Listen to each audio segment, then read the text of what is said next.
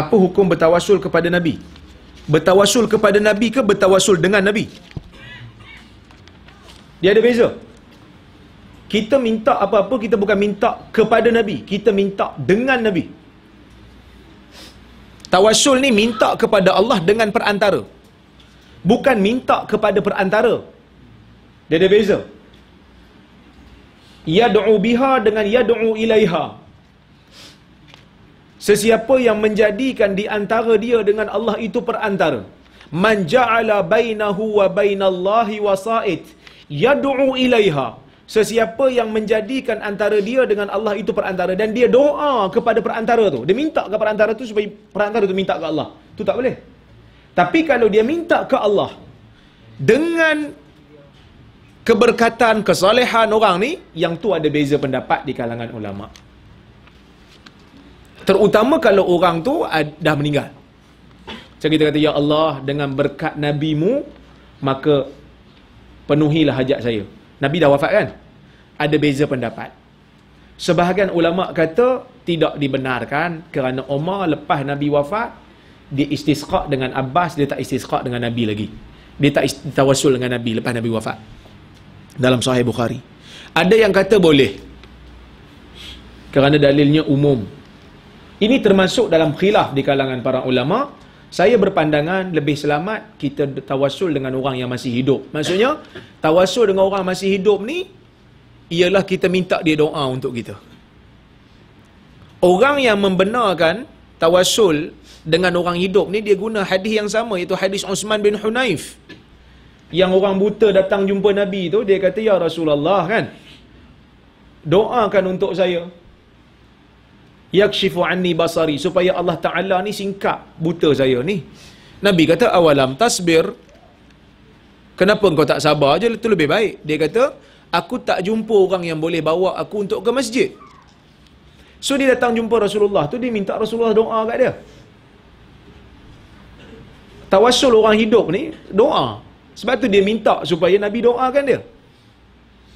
Kalau dia tak hendak nak tawassul biasa-biasa, uh, tawassul hanya menyebut tanpa doa orang saleh tu dah tentu dia tak datang jumpa Nabi. Dia sebut je lah. Dengan berkat Nabi-Mu. Itu di antara dalil yang digunakan mengatakan lepas wafat, tawassul ni tak ada lagi dengan orang saleh. Tuan-tuan, saya nak urai gini.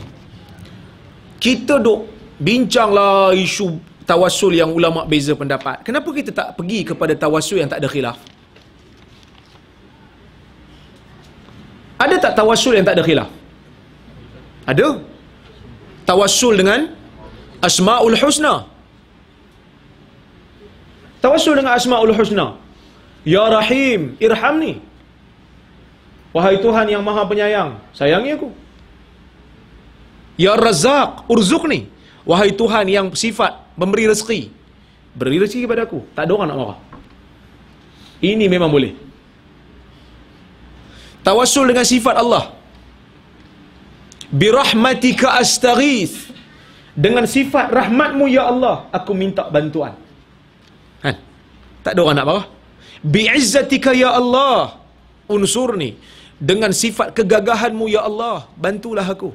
Tak ada orang nak kata, eh tak boleh ni, bidah. Tak ada. Kerana benda ni sepakati. Ataupun bertawassul dengan amal saleh. Kita dapat masalah apa, kita tawassul dengan amal saleh. Tak ada orang nak marah. Tawassul dengan orang saleh yang masih hidup. Jumpa orang saleh. Pakcik, doakan untuk saya pakcik. Eh. Orang saleh ni bukan semesti orang yang ada ilmu saja. Kadang-kadang orang yang orang soleh dia kadang-kadang dia ilmu tak banyak mana tapi dia soleh. Kadang-kadang kita jumpa orang minta sedekah tepi jalan kan. Kita bagi dia duit, kita Pak Cik, doakan untuk saya kebaikan dunia akhirat. Mana tahu doa dia Allah Taala makbulan. Itu tawassul. Kan? Mungkin dia doa ikhlas, kita bagi kat dia bantuan, dia sungguh-sungguh. Doa untuk kita. Yang ni tak ada orang nak marah. Tapi kalau tawassul dengan orang yang dah meninggal dunia, yang ini beza pendapat.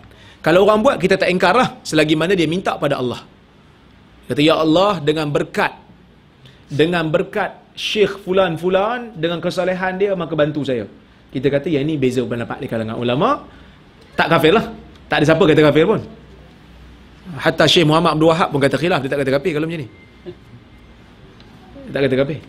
Walaupun saya tak berapa baca sangat kitab-kitab dia tapi sekadar yang saya tahu pendapat dia dia tak kata kafir kalau minta macam tu dengan perantara ni. Maksud minta pada Allah dengan perantara. Cuma dia dia kata tak setuju.